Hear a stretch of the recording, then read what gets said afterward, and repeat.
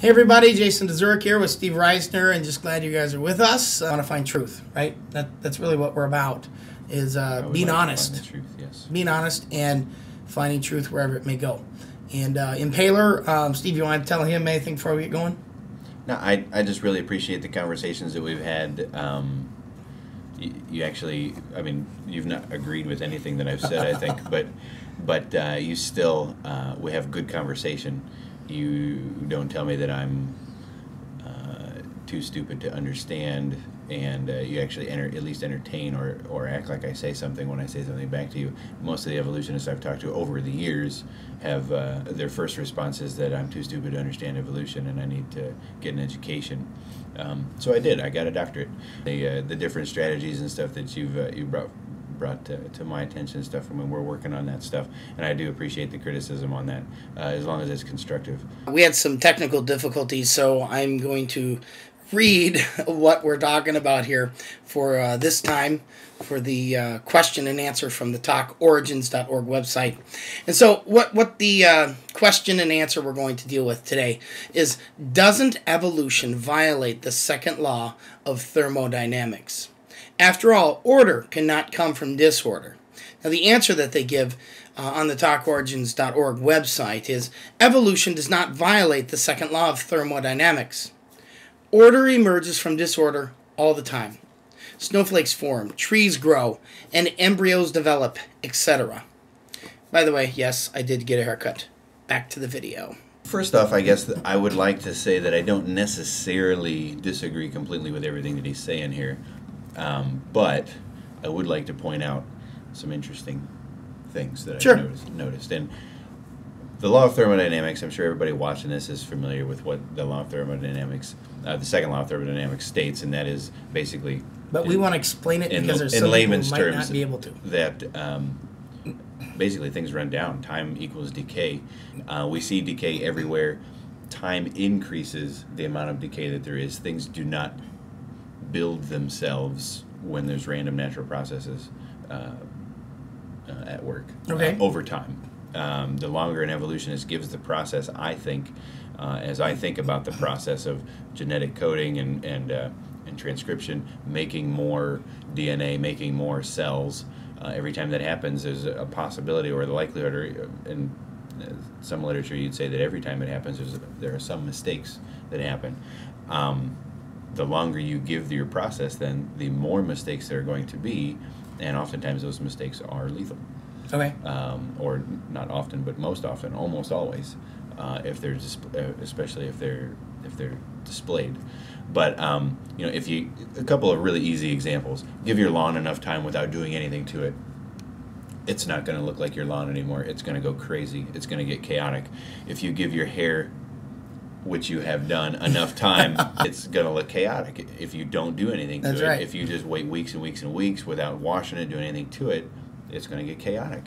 Um, you know, and I think a, a really good example of, uh, to kind of at least mimic some of the complexity of life is look at New York City and all the things that go on in New York City.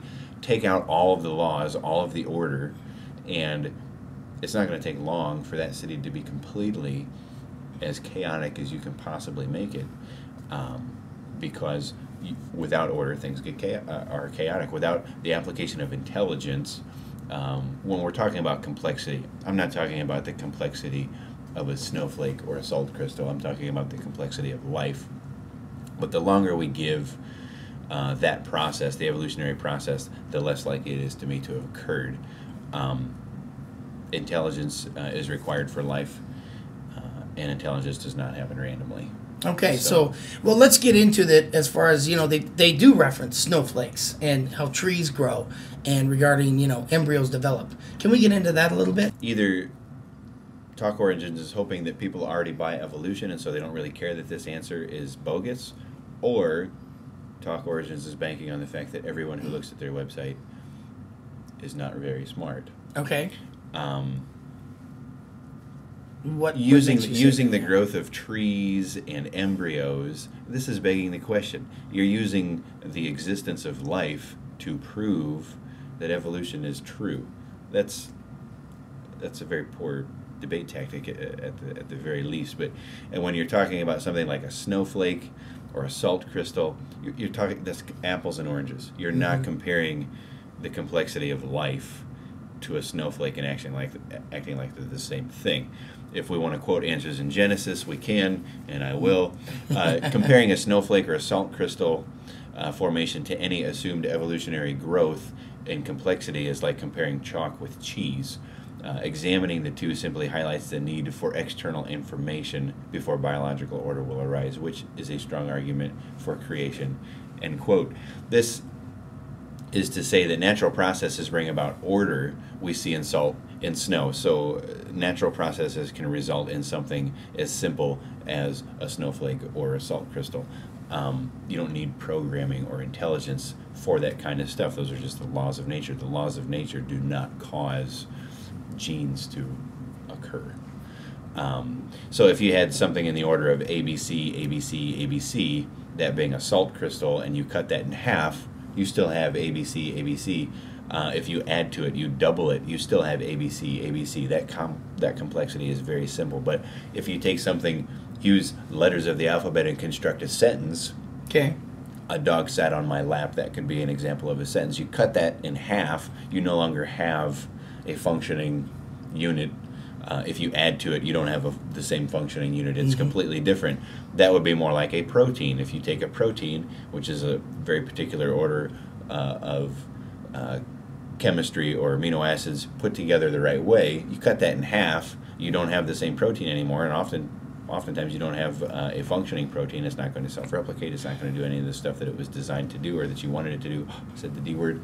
Um, or if you add to it, the same the same is true. So to say that a snowflake is the same as even something as simple as a protein, which compared to the complexity of a cell, a protein is really not that complex, but it's astronomically more complex than a snowflake. The bottom line is there's a misunderstanding here on the of that the princ- of the principles that the author is trying to portray here on Talk Origins, and uh, it either demonstrates that they have an inability to grasp exactly how complex life is because they're acting like a snowflake. The order of a snowflake is is even moderately comparable to the complexity of life, or they hope their reading base is not intelligent enough uh, to figure out what the scheme is. Well, let, let's break it down for the layman, if you will.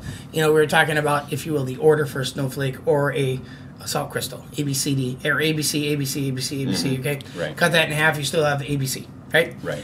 Uh, you know, a dog sat on my lap, okay, and you cut that in half, you have a dog sat. Right, which is not And that's not complete. It's not. Yeah, it doesn't have the same function. It doesn't have the same order. Yeah. Something is different, and it's fundamentally changed. Right. We were talking about how uh, people would say, well, you know, to prove evolution, we're going to use something that's already existing with life, trees, Yeah. things like that. That's fantastic. It, it, it reminds me of, and it is a joke, but I love it. You know, the scientists say, hey, God, we figured out how to create human life. You, you know, we figured out how to do it and all this. And God's like, great, show me how you do it. And then they go and they go get a bunch of dirt, and God goes, whoa, whoa, wait a minute, go get your own dirt. Yeah. I mean, that's what we're talking about here.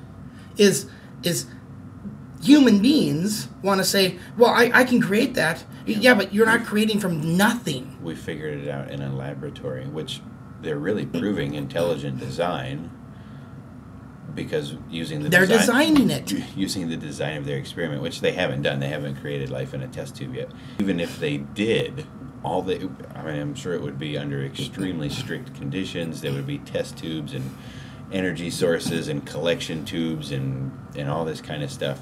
They would just be proving that it cannot ha- happen naturally, randomly. Um, but then they'll use terms like they know this and they know that. Like we know that the Urey Miller experiment didn't work because the we now know that the atmosphere was not what they thought it was then. How do you know How that? could you possibly know that? Right. You could suspect it. like I've said in a comment I made But- on, on there, you have to have a time machine in order to do that. in order to know. I mean, you do, right? Yes. All right. Well, everyone, uh, this one's been a little long. Anyways, we do thank you for tuning in. And uh, you know what? We'll talk to you later. You got anything else you want to say? Negative.